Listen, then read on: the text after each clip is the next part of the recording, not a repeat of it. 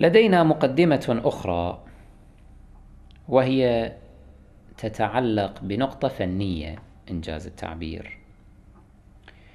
إذا لاحظتم نحن نتحاشى أن نعبر عن هؤلاء الذين صحبوا رسول الله صلى الله عليه وآله بهذا الاصطلاح وهو الصحابة.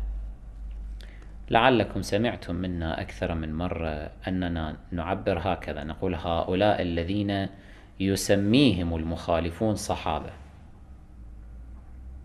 فما معنى قولنا هذا؟ لما نحن مثلا نتحفظ على هذا الاصطلاح؟ نقول إن هذا الاصطلاح الصحابة. هذه اللفظة هذا الاسم. نحن نتحفظ عليه لأنه أولا لم يرد في أي آية قرآنية ولا أي حديث نبوي شريف كاصطلاح إسلامي أو شرعي. ابحثوا في طول القرآن وعرضه. ابحثوا في طول الأحاديث النبوية وعرضها حتى الموضوع منها حتى المنحول منها لن تجدوا كلمة الصحابة مطلقا. لا تجدونها على لسان رسول الله صلى الله عليه وآله مطلقا. وأما في الكتاب العزيز فظاهر أنها غير موجودة. فإذا نحن نؤمن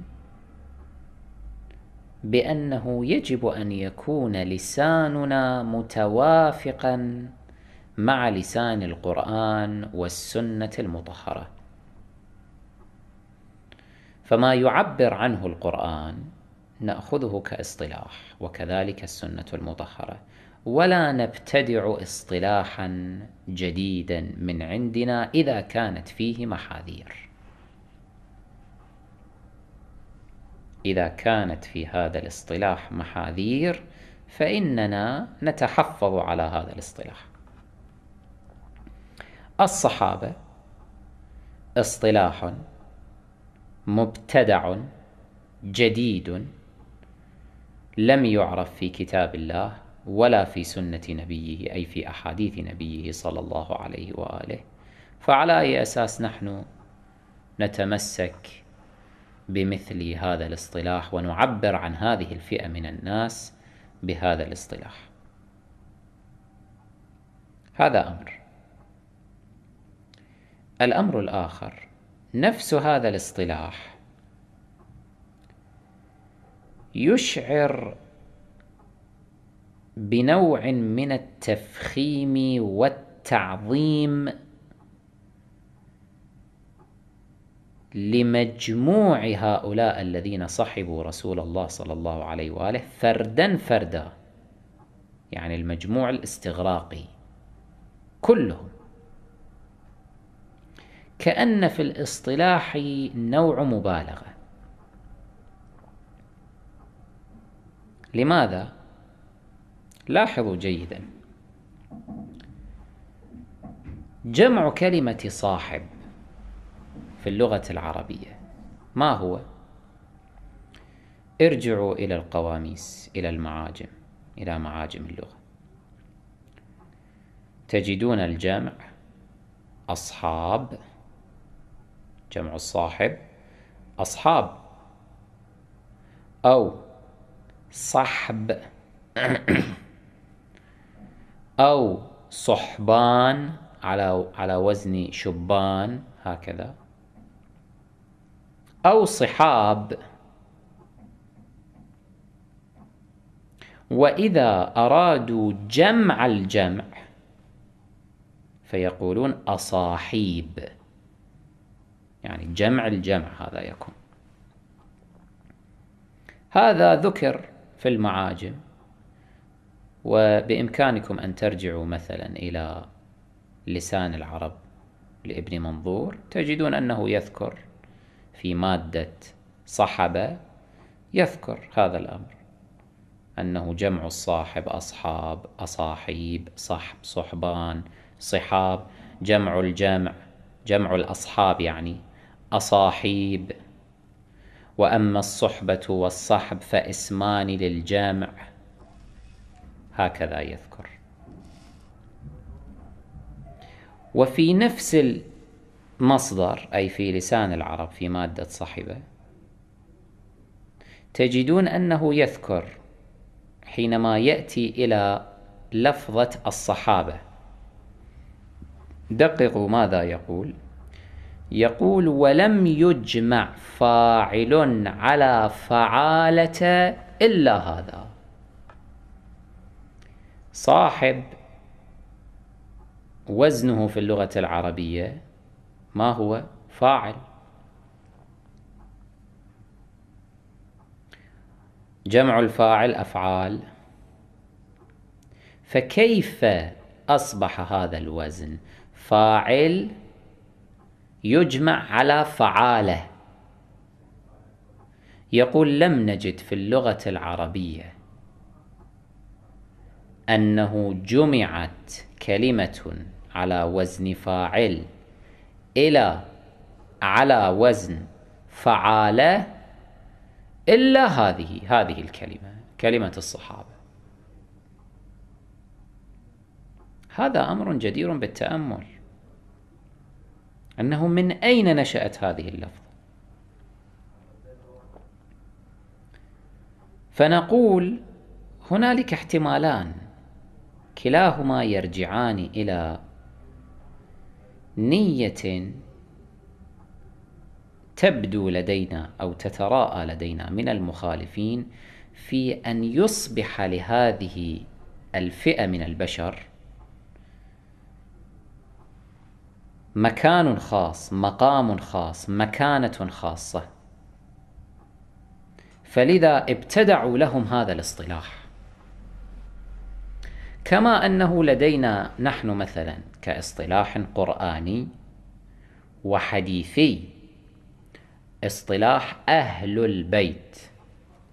هذا اصطلاح ورد في القرآن ورد في الحديث الشريف فهو اصطلاح إسلامي شرعي سليم. كأنهم أرادوا أن يجعلوا اصطلاحا آخر في قبال هذا الاصطلاح. فلذا ابتدعوا هذا الاصطلاح.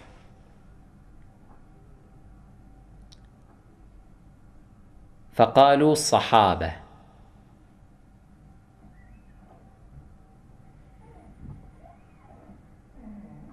واحد من أمرين. إما أن هذه الصيغة صيغة الصحابة هي من صيغ المبالغة. يعني أرادوا أن يوهمونا بهذا المعنى أنه هؤلاء الأصحاب مو أصحاب فقط وإنما الصحابة يعني قد بولغ في أو يعني يبالغ في كونهم أصحابا. صيغ المبالغة معروفة في اللغة العربية. مثل فعول فعول من صيغ المبالغة. مثل حينما نقول مثلا عالم وعلامة علامة من صيغ المبالغة. يعني أنه أكثر من مستوى عالم. كذلك ها هنا كأنهم يريدون أن يقولوا لنا هؤلاء مو مجرد أصحاب هذا مو مجرد إنسان عادي صاحب عادي لا هذا مقامه أرفع من مستوى الصاحب العادي لرسول الله. فلذلك هم صحابة. وإما هذا الفرض الأول الفرض الثاني أنهم يريدون بابتكار هذا الاصطلاح اصطلاح الصحابة أن يقولوا إن هؤلاء كانوا يعمدون إلى ممارسة الصحبة والاتصاف بها. كما نقول عدالة. ما الفرق بين العدل والعدالة؟ العدل هو الأثر الخارجي تحقق العدل. أما العدالة عفوا. العدالة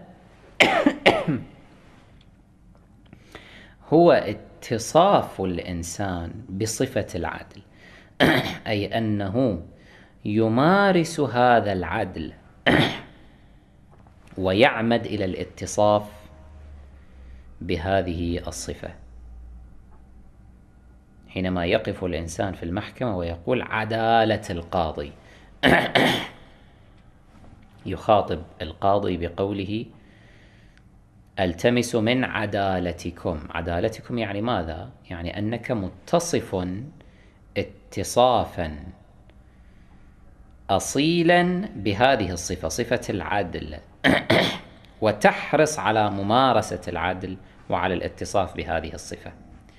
فكأن المخالفين يريدون بقولهم صحابة أن يقولوا لنا إن هؤلاء البشر كانوا قد حرصوا فعليا على أن يتصفوا بهذه الصفة. أن يلازموا رسول الله صلى الله عليه وآله ويصاحبوه ويمارسوا ذلك حتى تصبح هذه الصفة فيهم مستغرقة مستغرقة فيهم فإذا عندنا فرض أن هذا الاصطلاح جاء على نحو صيغ المبالغة وإما على هذا النحو الذي قلناه. وفي كلا الفرضين فإن فيه إشعارا بتعظيم وتفخيم لا مبرر له. كيف نقول أنه لا مبرر له؟ هذا ما سيتجلى لنا في البحث. سيتضح لنا أن كثيرا من هؤلاء صاحبوا رسول الله صلى الله عليه وآله نفاقا.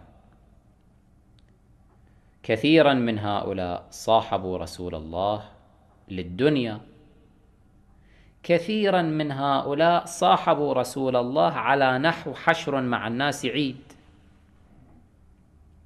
يعني ما كانوا يعمدون إلى هذا الأمر. ما كانوا يحرصون على هذا الأمر. نعم بعضهم كان على هذا. فاذا لما نبالغ فيهم لما نغلو فيهم؟ سيتبين لكم إن شاء الله تعالى من خلال هذا البحث المعمق كيف أن المخالفين يقدسون هؤلاء ويرفعونهم فوق مستوى البشر العاديين إلى درجة تبعث على السخريه واقعا. لأنكم سترون فضائحهم. وسترون أن فيهم من يترفع الإنسان المؤمن في زماننا الحالي عن بعض أفعالهم. بعضهم كان في منتهى الفساد والقذارة والفسق. بعضهم كان جائرا بعضهم كان سفاحا. فلما يرفع أكبر أو أو يعني نبالغ في تصويرهم للعوام ونعتبرهم كأنهم من جنس الملائكة كأنهم خير الخلق بعد الأنبياء كما يقولون ويزعمون كذبا وزورا وخداعا لعوام الناس. فيبدو لنا أن كلمة صحابة جاءت في هذا السياق. فلذا نحن نؤكد على ضرورة أن لا يعبر أتباع أهل البيت صلوات الله عليهم عن هذه الفئة من البشر باستخدام هذا الاصطلاح. لا تقولوا صحابة قولوا أصحاب خلص أصحاب رسول الله أصحاب عاديين. لا تقولوا صحابة لا تستخدموا هذه الاصطلاحات التي جاءتنا من ديانة المخالفين.